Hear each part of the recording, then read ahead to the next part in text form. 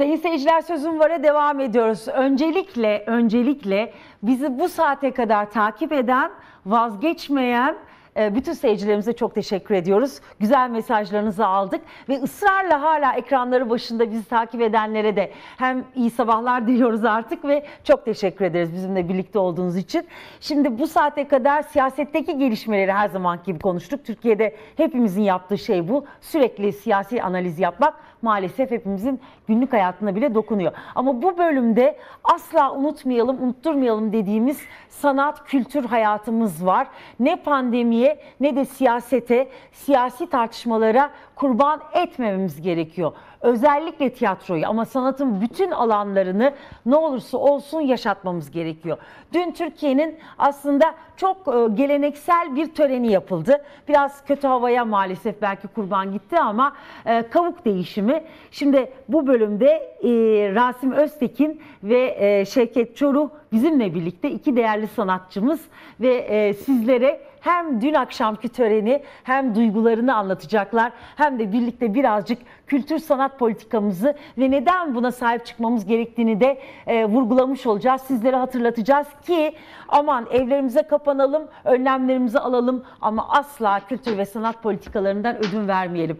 Rasim Öztekin ve Şevket Çoruh iyi akşamlar, hoş geldiniz. İyi akşamlar. Merhabalar. Peki. Merhabalar. Şimdi e, Şevket Çoruk siz yeni e, kavuğun yeni sahibisiniz. Bundan sonra siz o bayrağı taşıyacaksınız ama müsaadenizle ben Rasim Öztekin'e ilk önce döneceğim ve iki sınıf arkadaşını baş başa bırakacağım. Kadri Gürsel'e sözü veriyorum. Kadri Gürsel'ler Rasim Öztekin'in e, kısa bir sohbetini hep birlikte dinlemek istiyoruz. Kadri. Kısa bir sohbet, kısa tutacağız. Yo, uzun tutabilirsiniz ben, isterseniz. e, kötü, ben de gidemedim maalesef. E, Çok üzgünüm dün akşam gidemediğim için. Rasim'le de üzüntülerimi paylaştım. Rasim diye hitap ediyorum. Bunun nedeni de zaten sen biraz önce açıkladın. E, pek de öyle kötü havaya kurban gitmiş de gibi gire gözükmüyor. Oraya bakmam gerektiğini işaret ediyor Evet. kameraman arkadaşım. Ben e, büyük ekranda Rasim'i görüyorum. O beni görmüyor. Ben Rasim'e bakarak konuşuyorum ama Rasim bana oradan bakıyor. Evet. Dolayısıyla buraya bakınca Rasim de ben de Rasim'e bakmış oluyorum. E, Ben sizi görmüyorum ama. gör- görmüyor musun sen? Skype'ın cilveleri. Evet. Peki. E, ş- şimdi Rasim'le biz e, Galatasaray'dan sınıf arkadaşıyız. Ve e, Galatasaray'da Rasim bize 7. sınıf yani orta 2'de geldi. E, o zamanlar işte e, mezun olmamıza henüz daha 6 yıl falan var okuldan. Ve tabii e, sorulur. Bütün çocuklar birbirlerine sorarlar. Hala soruyorlar bilmiyorum. Ne olmak istiyorsun diye. İşte insanların doktor, mü- mühendis olmak e, istedikleri dönemler. O zamanlar öyleydi Türkiye. Yani ne olmak istiyorsun? Doktor olacağım, mühendis olacağım. Daha önce 60'larda öğretmen olacağım falan da diyenler vardı. E, Rasim'e sorduk. Ben çok iyi hatırlıyorum. Bir teneffüsteydim. Bizzat ben sordum. Sen ne olmak istiyorsun? Ben tiyatrocu olacağım dedi. E Şimdi orta 2'de kararını vermiş tiyatrocu olacağım. Ben cevap vermedim. Ee, içimden geçirdim Allah Allah dedim yani tiyatrocu mu olacak falan. Ama demek ki Rasim e, daha o yaşta yani 14 ya da 10, 14 yaşı olması lazım. Ya da O 15 civarlar. ha. e, Orta 2 14 yaş galiba 14-15. O yaşta kararını vermiş e, ve ve tiyatrocu olacak dedi ve oldu ve ustası oldu. Yani e, o yaşta bir çocuğun e, böyle bir e, meslek seçimi ve sanatçı olmaya karar vermesi en başta bugün geriye doğru gittiğinde e, zaman e, sene 75 ya da 76 olmalı. O civarlar. Ee, değil mi? Ne kadar? Ee, 45 sene öncesi. Ben e, Rasim'i şimdi huzurlarınıza tebrik ediyorum. Yani Sağ olasın insan, kardeşim, insan çok teşekkürler. e, tabii. Yani önüne böyle e, kendisi için doğru olan hedefleri koyup o hedeflerde ilerlediği zaman nerelere gelebilir? Onun en canlı örneği olarak şu an karşımızda duruyor Rasim. E, ve kendisini gerçekten e, tekrar tekrar e, tebrik ediyorum. O gün bana e, tiyatrocu olacağım e, dediği Dedi. için. Evet. Ve Peki- çok çok iyi Hemen- bir tiyatrocu olduğu için. Rasim Bey buyurun size döneyim. hem- hemen buradan bir araya gireceğim. Ee, gerçi ben e, o zaman tiyatrocu olacağım dedim ama ben aslına baktığınız zaman e, basket de denedim. E, müzik kolunda da davul da çaldım. Ondan sonra e, ve en sonunda tiyatroda e, karar kıldım. Aslında şöyle, kendi kendime öz eleştiri yapabilen bir tipim. E, basket oynarken de benden basketçi olmayacağını anladım. E, davul çalarken de en fazla olimpiya pavyonda çalarım diye düşündüm. Ondan sonra da tiyatroya karar verdim. Ha birkaç gün içinde de yani birkaç yıl içinde de eğer e, profesyonel olarak tiyatroya devam etmeseydim belki de şu anda başka bir iş yapıyor olabilirdim. E, bundan benden olmayacak diye bırakabilirdim tiyatroyu. Ama o sırada e, zaten e, ustam Ferhan Şensoy'un e, amatör tiyatrosundaydım. Sonra da profesyonel oldum zaten. Ha, bu arada hemen bir not daha ileteyim. E, Kadri bana bunu sorduğunda sen hangi e, ne olmak istiyorsun diye ben de ona sordum. Onun bana verdiği cevap daha Ben hatırlamıyorum. Sen Baba hatırlıyor olacağım musun? dedin. Baba olacağım dedin. Öyle mi dedin? Baba da oldu. Evet, oldu oldu. Ama ama Rasim'in Rasim'in okuldaki e, lakabı lakabı babaydı. Baba Rasim biz baba derdik Evet. ona. Ha, Evet, öyle mi? Baba derdik. Peki, e, o zaman hemen Şevket Çoruh'a da bir sorayım. Siz de bu kadar kararlı mıydınız Şevket Bey? Kararlıydım. Yani vazgeçirmeye çalışsalar da kararlıydım evet. Hep başından beri tiyatro tiyatro dediniz. Yani birazcık da e, hocalarımın da yani e, ilkokul ve ortaokuldaki hocalarımın da tavsiyeleri oldu. Onlar da birazcık e, bu konuda beni e, heyecanlandırdılar, teşvik ettiler. E, onların da büyük katkısı vardır. Yani gerçekten ben e, Türkiye'de ısrarla ve ısrarla vazgeçmeden, pes etmeden tiyatrocu, e, sanatkar, müzisyen, ressam, edebiyatçı herkesin e, gerçekten e, çok önemli bir e, iş e, başardığını düşünüyorum. Dolayısıyla ikinizi de bu kararlılığınız dolayısıyla ben de çok tebrik etmek istiyorum. Ben- ben- Kadri bir şey söyleyecek. Ben bir anımı daha paylaşmak istiyorum buradan. Fazla e, çalmamak için ama aynı zamanda şey tutacağım, sınırlı tutacağım. E, Rasim'i ilk seyredenler bizleriz, sınıf arkadaşlarıyız. Çünkü Rasim e, biz okuldayken de bize tiyatro yapardı. Yani Rasim'i tiyatroda amatör bir tiyatrocu olarak ilk seyredenler onun sınıf arkadaşlarıdır. Ee, ve ve ondaki e, yeteneği ilk görenler de e, bizleriz. Ama o kendi içindeki yeteneği zaten keşfetmişti Ee, ve e, bizi de çok eğlendirirdi her zaman. Yani Rasim'le e, Rasim'in olduğu ki yatılıydık hepimiz. E, çok eğlenceli ve keyifliydi Rasim'le e, beraber onun sınıf arkadaşı olmak. Şimdi ben- da, e, Teşekkürler. Yani bu içte olan bir şey. İnsan Tabii. yeter ki içindekini bilsin. e, onu kendini iyi dinlesin ve kendini görsün. Evet. Onun örneğidir bence Rasim. Şimdi şöyle ben e, size bir iki soru sormak istiyorum. Birincisi aslında pandemiden önce Türkiye'de tiyatroların yeniden altın çağı yaşanıyordu. İstanbul'daki özel tiyatroların özellikle oyunları kapalı gişe oynamaya başlamıştı. Herkes birbirinden torpil istiyordu. Ya şu oyuna bilet bana ayarlasana, davetiye ayarlasana, aylar sonrasına e, bilet bulunabiliyordu. Gerçekten çok önemli bir gidişat vardı. Televizyondansa biraz da politik ortam nedeniyle tiyatrolara dönmüştü herkes. Çünkü tiyatro özgür ifadeyinin kullanılabildiği tek alan olmaya başlamıştı. Ee, hakikaten e, belki üstü kapalı siyasi oyunlar oynanabiliyordu. Önemli eserler tekrardan yorumlanıp sahneye konulmaya başlamıştı. Tiyatrolar, özel tiyatrolar devrim yapıyorlardı. Pandemi maalesef geldi. Ee, şimdi belki bu dün akşamki töreni Ben sizden biraz kendinizce yorumlamanızı rica edeceğim. En çok da e, bizi izleyenlere biraz anlatmanızı rica edeceğim. Bundan sonrası için nasıl görüyorsunuz ve bu değişimin sizlerin şahsi e, tarihinizde ne gibi bir önemi var ve bundan sonrası için neler söylemek istersiniz? Rasim Bey'le başlayayım. Evet, o çok e, cevabı çok uzun bir soru oldu aslında bu. Ben aslında Şirin Hanım şeye inanmıyorum. E, hani e, pandemiden önce tiyatroların bir patlama yaptığına e, inanmıyorum. Neden inanmıyorum? E, şöyle diyeyim, biz e, orta oyuncular olarak ben orta oyuncularda e, 79 yılında profesyonel olarak başladım. Daha önce amatörlüğüm vardı.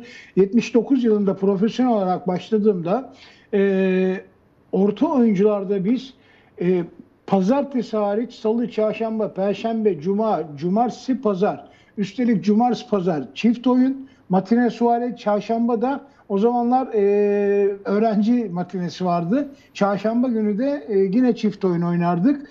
E, pazartesi günleri de yakın illere turneye giderdik. Yani aslına baktığın zaman 7 gün bir oyunu oynardık. Ve 7 gün 9 oyun, 10 oyun falan olurdu. E, şimdi bak, baktığımız zaman evet tiyatrolar çoğaldı. Çok e, ufak tefek tiyatrolar var. E, fakat mesela bizim de o zamanlar e, tiyatromuz 500 kişilik, 600 kişilik. Biz onu fullerdik. Ve dediğim gibi haftanın 7 günü oynardık. Ve e, şöyle bir şey 15 günlük biletler biterdi. Buna rağmen. E şimdi baktığınız zaman e, Türkiye'de ciddi bir kültür erozyonu var. Yani aslında biz tiyatro işte çok seyrediliyor falan diye biz kendimizi kandırıyoruz. Çok seyredilmiyor. Türkiye'nin kültürü çok değişti. Eski tiyatro seyircisi yok. E, tiyatrodan bir haber insanlar var. Bir, bir kesim var sırf tiyatrolara gidiyor. Onlar da işte hangisine yetişebilirse. Yani tiyatrolar arası ring sefer yapıyor o se- seyirciler. Eskiden öyle değildi. Biz orta oyuncular olarak bir oyuna başladığımız zaman 100 bin garanti seyircimiz vardı. Bugün hangi tiyatronun var? Yani onun için ben bu e, pandemiden önce tiyatrolar azdı işte muhteşem işler yapıyor. Hiç e, ben buna böyle bakmıyorum. Maalesef Türkiye'de ciddi bir kültür erozyonu var. Kültürsüzlük var. Tiyatroda e, diğer sanat dalları gibi e, bence eksiye doğru gidiyor. E, pandemi de tabii buna tuz biber ekti. Evet. Şevket Bey? Ben e, Rasim abinin söylediklerine katılıyorum. E, evet tiyatroya bir ilgi vardı yani tiyatro e, oyuncular tiyatro salonları açıyordu. Hmm, Belli bir kesimin bir ilgisi arttı. Ama iyiye gidiş ya da böyle altın çağını yaşayış gibi bir durum yoktu. E, çünkü e, bu vergi yüküyle, e, kiralarla, elektriğiyle, suyuyla yani tüm tiyatro masraflarıyla aslında bunları karşılayabilecek güçte değillerdi. Altın çağ dediğiniz za- zaman e, bunların birazcık garantine altına alındığı, çalışanların sigortalarının, maaşlarının ödendiği, rahat ve huzurlu bir durum söz konusu olması gerekir. Bu yoktu birincisi. İkincisi ee, başında söylediğim gibi e, herhalde bir biletin yüzde kırkına yüzde kırk hatta e, yüzde kırktan daha fazla bir vergi yükü var. Ee, yani Kavuk Töreni'ndeki konuşmamda da yani 1908 tarih, tarihindeki bir tiyatrocu abimizin e, şikayetlerinin hepsini 2020 yılında biz tekrarlıyoruz. Ee, çok zor, çok meşakkatli, çok e, e, karmaşık bir dönemdeyiz. Yani birçok tiyatro kapanmak üzere ya da kapanacak. E, ve bunun üzüntüsü içindeyiz. Birçok tiyatro emekçisi, arkadaşımız, oyuncu arkadaşımız e, işlerinden oldular ve m, hayatlarını artık İstanbul'da devam edemeyecek olanlar şey, kendi memleketlerine gitti ya da İstanbul'da başka işler yapma yoluna gittiler ki bu da aslında döneminde e, çok ünlü e, oyuncuların da başvurduğu işler. E, çok parlak bulmuyoruz. Yani gidişatımızın nereye gittiği konusunda da büyük bir belirsizlik var. E, en kötü şey de Türkiye'de tiyatro salonlarının kapanması çünkü bir daha açılamıyorlar. Bu tarihinde yani Türk tiyatro tarihinde yüzlerce örneği var bunun. Kapanan tiyatrolar, e, kapanmak zorunda olan, AVM'ye çevrilen ya da yakılan diyeyim bir sürü tiyatro var ve e, bu kaderlerini terk etmekte e, bize çok e, acı veriyor açıkçası. Bununla ilgili de birçok başvurularımız, birçok tepkilerimiz var. E, Tiyatro kooperatif olarak, diğer inisiyatifler olarak Kültür Bakanlığı'na böyle zorlamalarda bulunuyoruz ama hiçbir sonuç çıkmadığı gibi gelecek hakkında da umut verecek fikirleri de yok açıkçası. Yok açıkçasının altını çizmek istiyorum çünkü evet yoklar yani Türkiye'de sanatın ve sanatçının yanında değiller. E, buradan tekrar tekrarlamak istiyorum çünkü bir tiyatronun kapandığını geçen e, hafta bir tiyatro salonu kapandı çok da güzel bir tiyatro salonu E, ve bir daha e, Tabii. yani olacak mı açabilecekler mi belli değil. Bu e, bu hastalık gibi düşündüğümüz zaman bize de sıçrayacak, başka tiyatroda da sıçrayacak. E, şimdiye kadar nefes aldığımız İstanbul'un e, ödeneksiz özel tiyatroları çok zor durumda kalacak. E, bir, çok sıkıntılı ve çok zor bir dönemden geçiyoruz. Şimdi biz e, e, sizleri davet etmeden önce Kadri ile konuşurken belki Kadri burada sözü almak ve sormak da ister. Şöyle demiştik değil mi? E, Türkiye toplumu aslında gülmeyi de unuttu. Bir, ikincisi politik mizahı unuttu. Yani eskiden en e, askeri dönemde bile e, politik mizah yapılabilirken Kadri ile aramızda konuşurken bunu konuşmuştuk. Ya onu bile artık yapamıyoruz. İnsanların suratı asık, herkes umutsuz gibi ve en ufak bir şey söylerken korkuluyor değil mi Kadri? Burada bırakayım sana sözü sen belki hem yorumunu e, söyleyip hem de e, Rasim'le bu konuda konuşmak istiyordun ve Şevket Bey'le. Tabii yani ben şunu merak ediyorum. Bu sorum her ikinize de olacak. E, tiyatroların e, bir e, vaha haline almaya başladığı son zamanlarda e, bahsediliyor. Ne kadar doğru, ne kadar e, gerçekçi bir e, bakıştır bu. Ben bir, bir kere onu sormak istiyorum. Ne vahası? Acaba ifade özgürlüğü vahası mı? Çünkü yani neticede tiyatro sanatı ifade özgürlüğü olmadan yapılması pek mümkün olmayan bir e, sanat. En azından güncellenemeyen, kendisini güncellemesi mümkün olmayan bir sanat. E, Türkiye'de e, bunlar benim kişisel görüşlerim. Katılırsınız, katılmazsınız.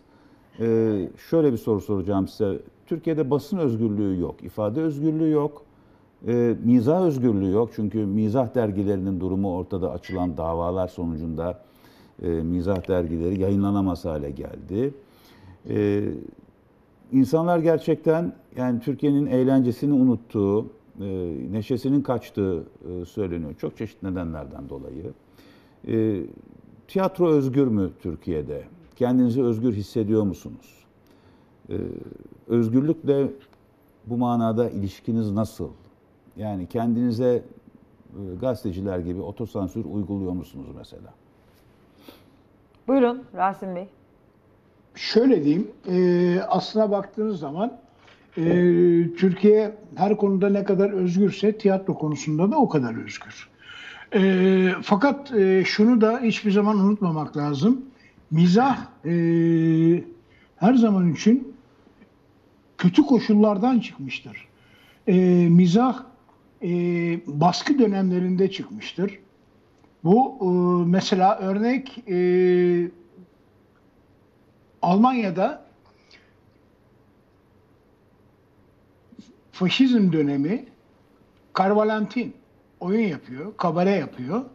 E, Karvalentin'in yaptığı kabare e, ve ciddi şekilde e, muhalif bir kabare yapıyor. Fakat ciddi de baskılar var. Gestapolar her gün geliyor, tiyatroyu basıyor. Ee, işte oyunu seyrediyorlar, onu çıkart, bunu sok falan diyorlar resmen. Müdahale ediyorlar yani. Ee, ama bir şekilde komedyen bunu e, alt etmesini biliyor. Yani e, mesela bir gün e, diyor ki o, o dönemde Berlin'de e, Hitler her akşam belli bir saatte siyah Mercedes'inle e, dolaşırmış, teftiş edermiş. E, ve Carvalantin de bir oyununda finalinde şöyle bir şey diyor.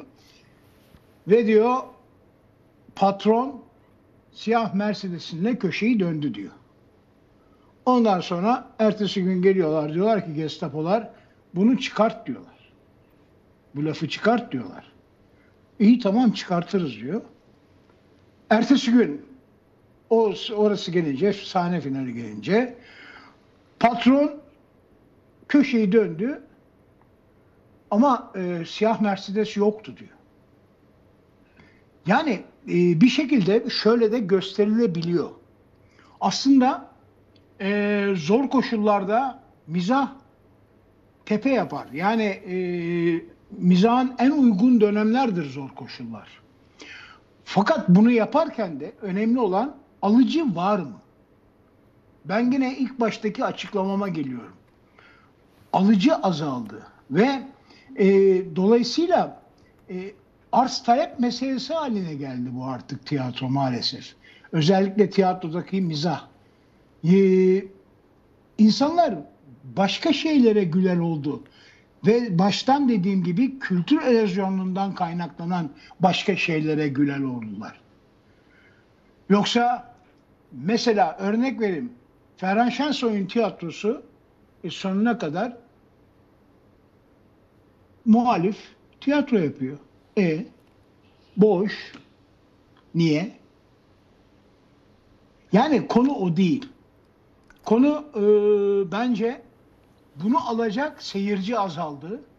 Bunu destekleyecek en önemlisi destekleyecek seyirci yok. Yani bence problem orada. Şevket Bey? Yani seyirci konusunda yani evet çok haklı. Yani özellikle Beyoğlu'nun şimdiki hali yani içler acısı. Yani birçok tiyatronun, sinemanın olduğu bir Beyoğlu'nda artık bir tek ses tiyatrosu kaldı. Hali hazırda oyun oynayabilen. Ee, biz, de, biz de baba sahne olarak, misafir olarak, konuk olarak gidip oyun oynadık orada. Ee, eskiden o pasaja girerken büyük heyecanlanırdık. Kitapçılar vesaire vardı. Şimdi nargile kafeler var. Neredeyse tiyatronun girişini bulamayacağız şekilde. Yani öyle hakim olmuşlar. Ee, Birçok şey değişti tabii yani. Ee, biz de e, kendi tiyatrolarımızda bu özgürlüğü aramak için açıyor, açıyoruz kendi tiyatrolarımızı zaten. Yani çünkü başka türlü baktığınızda e, belediyelere ait tiyatrolar ya da bakanlıklara ait tiyatrolarda size e, oyun alanı açmayabiliyorlar. Yani onlar bizde oynamasın diyebiliyorlar mesela. O yüzden biz de kendi tiyatrolarımızı açmaya başladık. E, kendi özgür alanlarımızı yaratmak için. Ve bu çok zor bir şey. Yani bir futbolcunun stadyum açması gibi bir şey aslında. Yani ve bu zorlukta yani bir her şeyle bizim içimizde yani oyuncularımız vesairemiz bütün işleyiş de içinde. Ee, ben çok umutsuz değilim. Yani e, umudum var mutlaka seyirciler artacaktır. Genç seyircilere ulaşmaya çalışıyoruz biz baba sahne olarak ve diğer aslında e, oyuncu arkadaşların da bu konuda e, e, değişik oyunlarla onlara ulaşmak için birçok faaliyetleri var. E, bence olacaktır, oluşacaktır, oluşmalı da. E, elimizden geleni yapıyoruz Evet. dediğim Ya, gibi e- ama bu bu dönemde özellikle yani tiyatroların kapalı olduğu dönem şu anda yüzde kırkla oynayabildikleri dönem işi çok zorlaştırdı. E, önümüzde ne olacağını bilmiyoruz. Yani pandeminin ne kadar devam edeceği, tiyatroların ne kadar açık kalıp ne kadar kalmayacağı, e, bu konuda ne gibi yardımlar almamız gerektiği konusunda da e, tartışıyoruz. Evet. Ee, dediğim gibi e, aslında tek beklenti, büyük beklentimiz aslında Kültür Bakanlığı'nın ye- yerel yönetimlerinin el uzatması.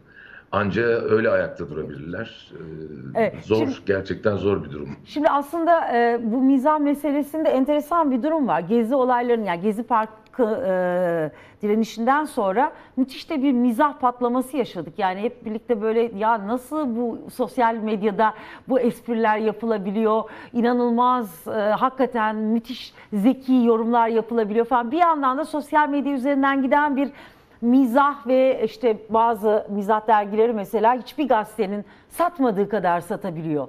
Ee, hani bir taraftan da böyle bir şey var. Ama işte e, evet sizin de dediğiniz gibi tiyatrolar belki mekan meselesi, ödenek meselesi biraz da belki bu dizi piyasası e, insanları daha televizyona kitledi. Evinden çıkmak istemiyor. İşte dijital e, platformlardaki diziler vesaire vesaire. Bilmiyorum bu konuda ne söylemek istersiniz ama ben e, seyircilerimiz çok sormuşlar. E, biraz da tabii ki kavuk meselesiyle ilgili e, onlara duygularınızı paylaşmanızı isterim. Gerçi siz defaatle anlattınız Sem Rasim Öztekinem, e, Şevket Çoru bu e, değişim nasıl olduğu, neden ama dün akşamdan geriye kalanlar sizler açısından nedir? İkinize de bunu sormak isterim. Önce kabuklu konuşsun. Yeni Önce- sahip önce- konuşsun. Önce, önce usta konuşsun bir kere yani. Buyurun. Şimdi eee, şöyle bir şey. Dün akşam gerçekten çok güzel bir gece yaşandı. Eee, ben eee, yani hiç böyle bir şey ummuyordum. Hayallerimin çok ötesinde bir gece oldu. Daha önce biliyorsunuz bu kavuk devir teslim olayı daha böyle bir eee, amatörce eee, işte amatörce değil de daha böyle biz bize biz tiyatrocuları ilgilendiren bir e, törenle işte birbirimize e, yani devrediyorduk, bitiyordu. Fakat bu olay, dün geceki olay başka bir boyuta geldi. İşte biraz önce Şevket'in de dediği gibi aslında yerel yönetimler de tiyatroya el atması gerekiyor. İşte yerel yönetimin bizim törene el atmasıyla dün acayip bir boyut e, sergilendi. E, ve yani bu kavuk verme olayı sınıf atladı. Yani bir level atladı. E, inşallah bundan sonra da hep böyle olur artık. E, dolayısıyla yerel yönetimlerin de e, tiyatroya ciddi anlamda e, destek vermeleri gerekiyor. Bu şart e, ve işte dün akşamki törende de bunun en güzel yanıtını aldık.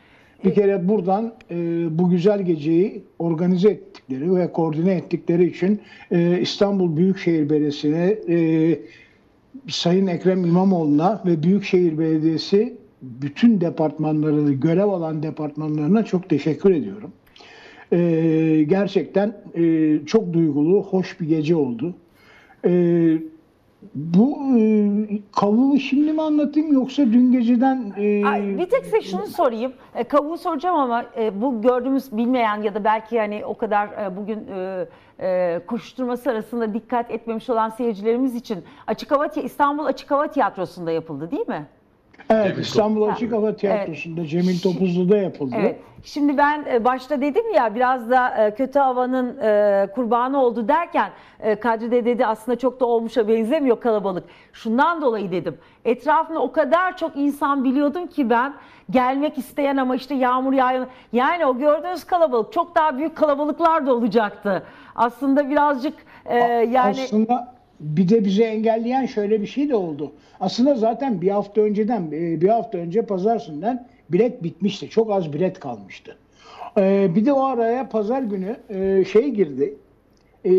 Açık havaların yasaklanması, pandemiden dolayı yasaklanması girdi. Biz 3 gün falan durduk. Yani ne yapacağımızı e, şaşırdık. Yani biletler de satılmış. Onların iadesi mi olacak, ne olacak falan. Belediyeden bize dediler ki biraz bekleyelim, bir dakika dediler. Ondan sonra sahiden e, biraz bekledik. Çarşamba günü bu şey kalktı. E, yasak kalktı. Pandemi yasağı kalktı. Yani daha doğrusu açık havalardaki bale, sanatsal gösteriler, e, onların üstündeki yasak kalktı. Ama e, işte e, pandemi kurallarına uyarak e, yapılması önerildi. E, biz ondan sonra tekrar böyle bir şeye girdik ama e, dolayısıyla çok da böyle tanıtımı tanıtım bile bitmişti. Ama tanıtım da çok yapılmadı gibi fakat bütün Türkiye duymuş vaziyette. Yani şu ana kadar e, ki yapılan devir teslim törenlerinin en e, bilineni oldu. E, o gün mesela çok enteresan bir şey daha yaşandı. Yani saat 7'ye kadar yağmur yağdı İstanbul'da. Saat 8'de başlıyordu. Ona rağmen herkes geldi. Ciddi bir gişenin orada kargaşa yaşandı ve e, 8'de başlamayı düşündüğümüz olay 9'da başlayabildi. Çünkü acayip bir yığılma oldu ve tören sırasında da 2-3 kere yağmur yağmasına rağmen herkese yağmurluk verilmişti.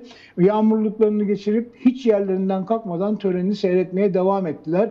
Bu e, olay tabii insanları, bizleri çok umutlandırıyor. Biraz önce Şevket'in de dediği gibi ben de umut umutluyum, umutsuz değilim aslında. Evet. Ee, umut olmadan yaşanmaz çünkü. Ee, dünkü seyirciyi de gördükten sonra gerçekten e, çok umutlandım ben de.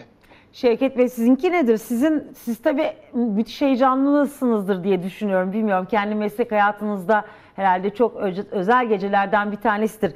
Biraz bizimle değil ama seyircilerimizle lütfen dün geceden size kalanları paylaşın isterim. Ben hiçbir şey hatırlamıyorum. yani evet yani rüya gibi geçti derler. Ee, işte yani çok garip bir duygu. Bunu nasıl anlatırım? Rasim abi de böyle çok net, net anlatacağını düşünmüyorum. Ee, yani garip bir duygu. Ee, e, bir gelenek, e, yılların tiyatro deneyimi ve birikimiyle gelen bir gelenek ve onun onu size teslim etmeleri. Ee, hem büyük sorumluluk hem de bu zor dönemimizde bunu yani çok coşkulu mu alsam ya da hani ağlasam mı? Yani çok kendi biz de çok karmaşık e, duygular yaşadık, yaşadık açıkçası. Yani çok iyi geldi. E, çok da makbule geçti. e, yani seyircinin tepkisi gerçekten saygı ne kadar büyük bir saygı yarattığını da gördük. Yani bunun ee, yani teker teker tarif edemeyeceğim ama bizim benim için hayatımdaki herhalde en önemli günlerden bir gündü. Ee, yıllar sonra da bunun hep anlatacağız, konuşacağız. Ee, Rasim abiye e, tekrar teşekkür ediyorum sizin de huzurlarınızda. Ee, dediğim gibi çok şey anla- anlatabilirim ama ne o coşkuyu tarif etmek için e, cümleler bulamıyorum açıkçası. E, var mı Kadri? E, var. E, iki sorum olacak. E, hem e, Rasim'e hem Şevket Çoruk'a. Birincisi bu kavuklu olmak nasıl bir şeydir? En kısa yoldan bunu nasıl anlatabilirsiniz? Yani bir nevi tiyatro şeyhi mi oldunuz? Bu şeyhlik gibi bir şey mi? Böyle yani çünkü ritüellere bakıyorum. E, el öpmeler, ondan sonra boyun eğmeler, işte kabuk devrediliyor falan. Bu kavuğun sembolize ettiği şey nedir? E, kısaca yani bizim açımızdan yani tiyatro izleyicisi olalım olmayalım e, bir de tarihsel bir hadise bu baktığınız zaman. Çünkü öyle kavuk kavuğu en kısa sürede en kısa süre e, ta- taşıyan galiba en kısa süre kavuklu olan Rasim e, oldu. E, şimdi Şevket Çoruh da uzun uzun yıllar daha e, kavuklu olarak kalmasını e, temenni ediyorum ama nedir kavuklu olmak E, ve nasıl bir duygudur değil de başkaları için diğer tiyatrocular açısından e, nasıl bir şeydir? Ne oluyor? Ne değişiyor hayatınızda? Bu bir nasıl bir sorumluluktur? Ne, ne tür bir yüktür? Taşıması kolay mıdır? Çok soru sordum ama e, yani ikiniz de Hepsi, hepsi iç içe aslında. Hepsi iç içe. Evet, Ee, yani- istersen e, yine benden başlayalım. lütfen. Tabii, lütfen. Ee, şimdi şöyle, tabii bu kavuk olayı e, 140 yıllık bir hikaye. 140 yıldır e, beri gelen bir e, geleneksel Türk tiyatrosunun bir nişanesi, bir simgesi. Ha, bu ha bir de zaman zaman şey tartışması yapıyor. Efendim bu e, işte İsmail Dümbüllü'nün kavuğu değildi de bilmem nesiydi, bilmem şu.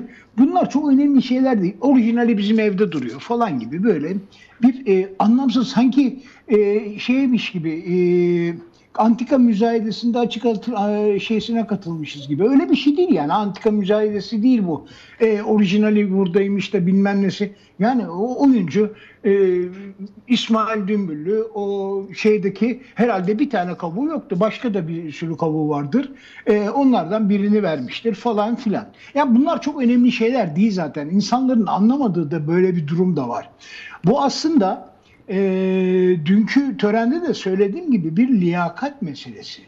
Bir e, usta çırak ilişkisi artık günümüzde de ortalıkta kalmayan bir olay bu. E, usta ile çırak ilişkisi, ustanın çırağa el vermesi. Yani e, dolayısıyla bu bilmem o kavukmuş değilmiş falan çok önemli değil. Usta diyor ki ben mesela Ferhan Şensoy'dan kavuğu aldığım zaman dedim ki ustamdan beratımı aldım, diplomamı aldım dedim. Usta oldum demedim ama bakın diplomamı aldım dedim. Çünkü daha devam ediyor ustalık sürecine girebiliyorum yani. Dolayısıyla eee kavuk böyle bir şey. Öyle bakmak lazım. Ve bütün tiyatrocu arkadaşları da bunun bir simge olarak hatırlatılması lazım. Tiyatrocu arkadaşlara e, bu usta çırak ilişkisini anlatmak lazım. Ustalara bugün e, ben Twitter'da ve Instagram'da e, bir şey paylaştım. Kendi dün akşamki bir konuşmamı paylaştım. Ustalara saygı diye. Evet ilk önce bunu öğrenmesi lazım tiyatrocuların. Ustalara bir saygısı olmaları lazım. E, yani ben Ferhan Şensoy, ben babamın karşısında sigara içiyordum. 22 yaşındaydım. Ferhan Şensoy karşıma geçtiği zaman e, sigarayı avucumun içine alıyordum.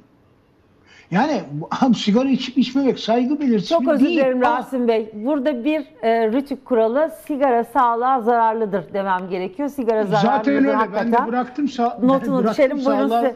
Size bırak, Ben size bu sözü bıraktım. geri vereyim. ben bıraktım. Sağlığa zaten zararlı olduğu için bıraktım.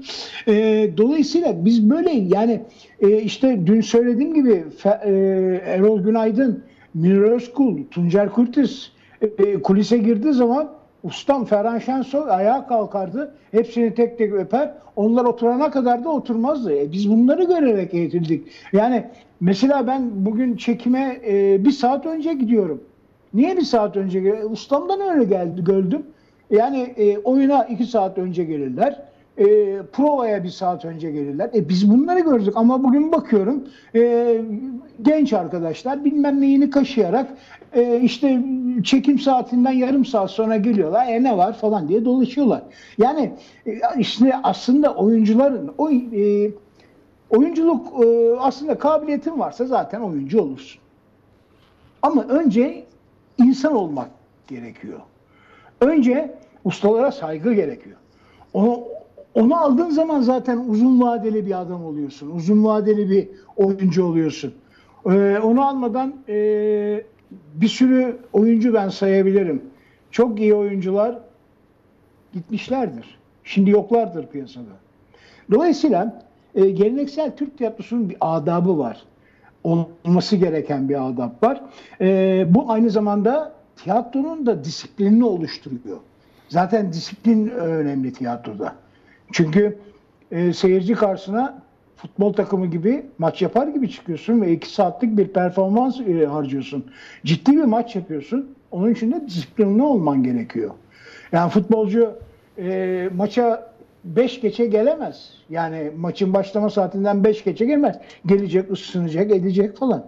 Dolayısıyla e, kapatayım burayı. E, ustalardan çıraklara bunların e, geçmesi lazım. Çıraklar da bunu alıp götür, götürmesi lazım. Usta-çırak ilişkisi e, gerçekten çok önemli bir ilişki. E, bunun da bu sanat yoluyla e, bütün aslında bütün damarlarımıza, bütün başka işe, zanaata da e, geçmesi lazım ve e, liyakatın geri dönmesi gerekir diye düşünüyorum. E, peki o zaman hemen Şevket Çorak'a soralım. Kavuklu olmak şimdi nedir? Ne yapacaksınız? Nasıl sürdüreceksiniz? Ne, değişecek hayatımızda? Ne değişecek hayatınızda? Birincisi e, kavuklu ol- e, yani kafama takıp e, İstanbul sokaklarında dolaşmayı düşünüyorum. Ciddi mi? E, e, Türkiye Büyük Millet Meclisi'ne gitmek istiyorum. Kültür Bakanlığı'na gitmek istiyorum. E, oralarda neyin değiştiğini görmek istiyorum. E, e, Valla yani kavuğun hayatımızda değiştireceği, bizim hayatımızda bir şey değiştirme gibi bir, bir- bir durumu yok yani. Yani buradaki tek durum biz bu simgeyi ben taşıyacağım bundan sonra. Benim yapacağım şeyler. Benim yapacağım şeylerde e, Ferhan abinin tören için gönderdiği mesajda söylediği bir cümle var. Diyor ki çok dikenli bir yol Şevket diyor yani. Sana kolay gelsin ama inanıyorum ki bu dikenleri e, koparacaksın diyor. Yani biz de onu yapmaya çalışacağız. Biz de Türkiye tiyatrosunda ya da tüm mizahçılık içinde sanatçı arkadaşlarımız yani e, tiyatro e, emek veren herkes için ne gerekiyorsa, ne yapılması gerekiyorsa ben elimden geldiği kadar e, birlikte bir şeyleri yapmamız gerekiyor. Daha iyi günlere gidebilmek için. Bunun için eğer yani bana el verilmiş biri olarak ben ve arkadaşlarım yine biz diyorum. e, bunun için bir şeyler yapmamız gerektiğini, e, dertlerimizi daha iyi anlatmamız gerektiğini, örgütlenmemiz gerektiğini, e, başımıza gelen ya da e, işte Kadri abinin dediği gibi özgürlükler işte birçok özgürlükten mahrumsak bunları ki mahrumuz ki e, bunların üstesinden gelmiş bunlar için ses çıkartmamız gerektiğini e, bunlar için mücadele etmemiz gerektiğini söylemem gerekiyor. Dediğim gibi çok zor bir dönemden geçiyoruz. Bu zor dönemi kazasız belasız atlatmak için tüm meslektaşlarım ki onlar kardeşlerim benim onlara destek olmam gerektiğini söylüyor bana Kavuk. Ee, geçmişten günümüze gelen dertlerin bir şekilde değişmesi için bir şey yapmamız gerektiğini söylüyor. Ee, saygıda kusur etmememizi, ustalarımıza karşı saygıda kusur etmememizi ve bizden sonra gelecek nesile de yardım, destek olmamız gerektiğini söylüyor. Türkiye'nin her yerine gidip oyunlar oynamamız, onlara da sanatımızla bir şeyler anlatmamız gerektiğini, Anadolu'nun her yerinde tiyatro yapan, merdiven e, altlarında, apartman dairelerinde küçücük salonlar açan tüm arkadaşlarımıza umut vermemiz gerektiğini söylüyor. Çok şey söylüyor. Ee, inşallah bunlar üstesinden gel, gelmeye çalışırız. Ama dediğim gibi en önemli şey birincisi e, örgütlü bir mücadele yapıp bu konudaki isteklerimizi, taleplerimizi, Türk tiyatrosunun sorunlarını iyi anlatmamız gerekiyor. Ee, dediğim gibi zor, meşakkatli bir dönem yani. Peki e, yani e, bütün bu anlattıklarınız aslında bizim bu sonuçta bir e, kültür sanat programı değil bir siyaset programı kadriyle e, yaptığımız ve başından beri aslında ne konu konuşursak işte Türkiye'deki biten liyakatı, biten dayanışmayı ya da bütün örgütlenmelere yönelik e, oluşan siyasi atmosferi ve toplumun damarlarının, çoğulculuğunun, farklı seslerinin giderek boğulmasını konuşuyoruz. Dolayısıyla şimdi sizin Şevket Çoruk'un bu söyledikleri bir anlamda e, hani böyle olmalı, böyle olmalı dediğimiz şeylerin ya biz böyle yapacağız, böyle yapmak istiyoruz e, gibi bir cevabı değil mi aslında? O bakımdan Evet. da çok önemli diye düşünüyorum. Taci, Evet, son yani turda aslında- belki yavaş yavaş kapatacağız ama As- aslında şöyle yani bizim gazete, gazetecilik yapma e, kararlılık ve ısrarımızın bir benzeri belki. Yani bilemiyorum Çok doğru mu değil mi? evet. ben o soruyu sormak istiyorum. Yani Evet. ya bu kadar Kesin. zorluk, bu kadar e, baskı, bu kadar tehdit altında hala niye gazetecilik ha, deli miyiz yani değil mi? Gidip E, biraz oturalım. belki deliyiz. Biraz deliyiz yani. De, biraz delilik var işin Kesinlikle, içinde. kesinlikle. Yani ben o açıdan bu aynı soruya takla attırar ki bu gazeteci jargonudur. Ee, bu soruya takla attırıp aynı soruyu hem Rasim Rasim hem de Şevket e, Çoruk'a e, sormak istiyorum. Yani burada böyle bir e, tezat da doğuyor gibi sanki. Rasim benim sınıf arkadaşım olduğu için 44 yıldır tanıyorum kendisini. Ön adıyla hareket ediyor ama Şevket Bey'le henüz tanışmadık. O yüzden e, öyle oluyor. Yani e, birinin ön adı diğerinin tam adıyla konuşuyorum ama ya nedir sizi ti- tiyatroda tutan Evet. şey? Yani tek başına sevgi mi, kendinize duyduğunuz saygı mı, yani öz varlığınıza duyduğunuz saygı mı, ne tür bir kararlılık yoksa seyircinin sevgisi mi? Nedir? Hepsi mi? Nasıl bir şeydir bu? Şimdi ilk önce e, ben konuşayım çünkü e, ben e, malulen emekli olan bir kavukluyum. E, yani sağlık e, dolayısıyla emekli oldum. Şu anda tiyatro yapmıyorum ama Geçmiş şimdiye olsun. kadar Geçmiş olsun. Teşekkürler. Ee, dolayısıyla şimdiye kadar yaptığım tiyatro e, hep tiyatro sevdiğim içindi. Tiyatro aşkından yapılan bir şeydi bu. Yani beni mesela şu anda ayakta tutan tek olay e, tiyatro yapmıyorum ama en azından bir yan tarafı var. İşte sineması var, dizisi var, şusu var. E, üç aşağı beş yukarı orada da oyunculuk yapıyorsun ama tiyatro çok başka bir şey. Tiyatro çok büyük bir aşk. Yani e, ve şöyle diyeyim Tiyatro yaptığın zaman çok az para kazanıyorsun. Yapmasan daha çok para kazanıyorsun. yani ciddi olarak yani e, tiyatroyu deli gibi yaptığı zaman ciddi olarak içeri girersin. Yani ben maaş almama rağmen içeri giriyordum. Artık işletmeci değildim. Maaş alıyordum. Ama ona rağmen içeri giriyordum. Yani İçeri girmekten kastın herhalde bir- zarar etmek değil mi? Zarar tabii tabii. Yani demek istediğim o zar zor geçiniyorsun falan. Yani tiyatro e, normal bir insanın yapacağı bir iş değil onun için. Yani e, bazı dönemler oldu. E, ben e, bir sene maaş alamadığımı biliyorum. O sırada cepten yiyorsun. İşte e, arabanı park ettin otoparka kadar para veriyorsun. Yani ama bunu e, bir günde e, şikayet etmiyorsun. Çünkü severek gidiyorsun oraya. Ve benim benim mesela ben hep öyle düşünüyorum. Benim en büyük kazancım bir kere işimi severek yapıyorum. Artı hobimden para kazanıyordum yani tiyatro yaparken. E, bir insanın hobisinden para kazanması, bir insanın hobisiyle geçinmesi çok önemli bir şey bence. Çok güzel bir şey. E, dolayısıyla tiyatro biraz e, tiyatro yapmak e, biraz manyaklık gerektiriyor, delilik gerektiriyor. Ferhan Şensoy e, Strasbourg'dan ilk geldiğinde e, rahmetli Erol Günaydın'a, Erol abiye e, bir yerde şey diyor. Abi sen de diyor bizim tiyatroya gelir misin diyor. Erol abi de diyor ki tamam diyor yani ne, ne için ne, ne yapıyorsun diyor sen. Bana diyor işte 8-10 tane deli lazım diyor. Onlardan biri de sensin diyor. Erol abi de o zaman çok teşekkür ediyorum geliyorum diyor. Yani böyle bir şey tiyatro. 10 tane delik bulunca e, tiyatro yapabiliyorsun. Yani e, dolayısıyla akıllı işi değil yani. Ama bana sorarsan dünyanın en büyük zevki. Ya ben uzun yıllar sonra e, gerçekten tören olduğu için o kadar kısa kestim. Yoksa o kadar havaya girmiştim ki ben bir, bir 45 dakika daha konuşurdum yani. Lan tören hazır, tören bitmeyecek diye ben bıraktım. Çünkü acayip bir adrenalin. Yani e, konuştukça konuşuyorsun. E, çok acayip bir şey, acayip bir duygu. Şevket Çoruh. Son sözü size verelim. Son sözü yani e, gerçekten özgürce e, doğru bildiklerini söyleyerek yapmaya çalıştığımız zaman, çalışıldığı zaman da işte törende de söylediğim gibi e, işte 12. Ama ayı Ka- Kadri'nin sorduğu 18 soruya cevap verin. Sizin, siz niye bu deliliği yapıyorsunuz? Rasim Öztekin'in de- deyimiyle. bu delilik bulaşıcı. Yani ustalarımızdan öyle gördük. Yani bu bize bulaşınca da bu deliliği yapmak durumunda kalıyorsunuz. Yani işte aşk denilen şey de öyle ulaşıyor. Yani bulaşıyor size. Ben çocukluğumda ilk gittiğim oyunda çok etkilenmiştim yani. Burada olmalıyım demiştim. Ondan sonra o bulaşan şey de de- e, devam ediyor. Dediğim gibi bir- birçok zorluğuna rağmen yani ki ustalarımızın yaşadıkları inanılmaz şeyler var.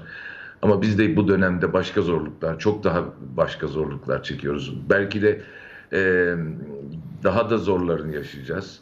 E, ama bunlara rağmen bu mesleği, bu sanatı yapmak istiyoruz. Bir şeyler yazıyoruz. E, yeni arayışlar içine giriyoruz. Daha güzeline ulaşmak için yeni oyunlar kuruyoruz.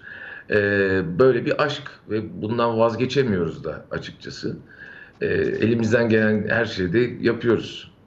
Ee, ben çok düşünmüyorum yani bir yani o toz ya da artık her neyse bulaşınca e, çok da ayrılamıyorsun. Yani o aşkın hep devam ediyor. Valla iyi ki e, bu ülkede e, e, e, sizin gibi e, delilik yapan e, tiyatrocular var ya da sanatçılarımız var. İyi ki de hala e, deli kalmaya devam eden gazetecilerimiz var değil mi? Hep birlikte el ele verirsek galiba bir şeyleri de başaracağız gibi gözüküyor. E, yavaş yavaş toparlamam gerekiyor. Ben ikinize de çok teşekkür etmek istiyorum. Bilmiyorum Kadri'nin son eklemek istediği bir şey var mı diye sormak istediği ama Ş- Şükranlarımı sunuyorum e, yayına geldikleri için ve seyircilerimizle e, kavuğu, kavuk bu kavuğun anlamını e, ve tiyatrocu olmanın anlamını paylaştıkları için e, gerçekten e, programımızı renklendirdiniz ve silinmeyecek bir anı bıraktınız. evet Çok gerçekten öyle. Rasim Bey var mı son eklemek istediğiniz, söylemek istediğiniz? Ee, yok teşekkür ediyorum. Ee, böyle bir programına katıldığım için gerçekten sevgili Kadri ile de aynı programda olmaktan da büyük keyif aldım. Ee, Şevket'e söyleyeceğim bir şey var. Ferhan bana söylemişti bunu. Bundan sonra Rasim düşünsün demişti. Şevket'e de ben şimdi bundan sonra Şevket düşünsün diyorum. Ama yakından takip etmeye devam edeceksiniz herhalde. Şevket E, şunu şöyle ya- yap, Şevket bunu böyle yap demiyor musunuz? Yani deri deriyi takip eder zaten. Böyle bir Halef Selef i- Halef. ilişkisi oluyor mu? Yani arada bir Rasim Öztekin Yani o, o- onu bilemiyoruz. O ileriki günler gösterecek. Benim tabii ki Ferhan Şensoy'la hep oldu. Yani e, hele tiyatro ile ilgili her en ufak bir şeyimde e, yani Şevket'e e, kavuğu verirken de açıp e, ustama sordum. Ne dersin ustam dedim. O, o da e, tamam dedi. O çok iyi fikir dedi. Yani e, ben tabii ki e, ustamla hep beraber devamlı e, görüş alışverişinde bulunduk her zaman için. E, herhalde büyük bir ihtimalle Şevket de öyle yapacaktır. Tabii ki. Tabii Evet. ki. Ee, Ben çok teşekkür ediyorum. Daha doğrusu teşekkür ediyoruz Kadri ile birlikte. Ee, Kadri Gürsel'in özellikle e, bu programın yapılması konusunda ısrarcıydı. Bir e, özellikle bu bölümü ayırmak istedik. Çünkü siyasetin önemli de bir parçası kültür sanat hayatımız.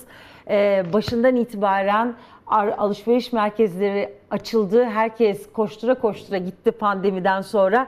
E, sanat kültür mekanlarımız alışveriş merkezleri kadar değerli değil mi sorusunu çok sordu sanatçılar. Dolayısıyla bu geceyi bu saatlerde bizi izleyen bütün seyircilerimize de hani bu belki mesajı vermek istedik ki e, kültür sanat olmadan e, ve gerçekten e, değerlerimizi korumadan bir ülke işte her zaman eksik bir ülke oluyor. Bunu da bir kez daha hatırlatalım. Şehir tiyatrolarının bugün açılacağı haberi gelmişti. E, dolayısıyla İstanbul Büyükşehir Belediyesi özellikle bu konuda e, bayağı bir hassas davranıyor. Umarız önümüzdeki dönem hem özel tiyatrolarımıza hem de devlet ve şehir tiyatrolarımıza siz seyircilerimiz de destek çıkarsınız. E, şimdi iki sanatçımıza da çok teşekkür ederim. E, bu akşam Şevket Çoruh dizi çekimleri var zannediyorum. Biz onu aslında buraya stüdyoya almak istemiştik ama gelemeyeceğini söyledi. Bu saatte bize zaman ayırdığı için kendisine çok teşekkür ediyorum. Kavuklu günlerinde başarılar diliyoruz. Teşekkürler sağ olun. Çok teşekkürler. Tabii e, Rasim Tabii şimdi onun de, aynı tabii şekilde. Tabii Rasim e, Bey de aynı şekilde olacak. sağlık e, sağlık e, durumu nedeniyle ve sağlığını inşallah çok daha sağlıklı günlerde tekrar görüşürüz. Ama şu pandemi döneminde e, bize yine evinden ya da e, Skype'la katıldı, katıldı, uzaktan katıldı. İkisine de ben çok çok teşekkür ediyorum. Başarılar Evet. diliyorum. Sizleri takip etmeye, izlemeye devam edeceğiz. Çok teşekkürler. Çok mersi. Ben de çok büyük keyif aldım. Çok mersi. Çok teşekkür E, ederiz. hınca hınç dolu salonlarda e, görüşmek ve sizleri izlemek dileğiyle. Evet İnşallah. sayın, sayın seyirciler biz de Kadri Gürsel'le birlikte Sözüm Var'ı hazırladık. Uzun soluklu bir program oldu. Bizi bırakmayan, destek veren, mesajlarını, görüşlerini paylaşan ve bu bu saate kadar ısrarla, sabırla seyreden bütün seyircilerimize çok teşekkür ediyoruz. Kadri Gürsel ve burada da kapatıyoruz Sözüm Var'ı. Önümüzdeki hafta pazartesi günü yine dolu dolu bir programla birlikte olacağız. Bir de küçük not, çarşamba günü CHP lideri Kemal Kılıçdaroğlu saat 20'de e, benimle birlikte olacak. Sizin aklınızdaki bütün soruları kendisine sormaya çalışacağım. Çarşamba günü saat 20'de görüşmek üzere. İyi akşamlar efendim.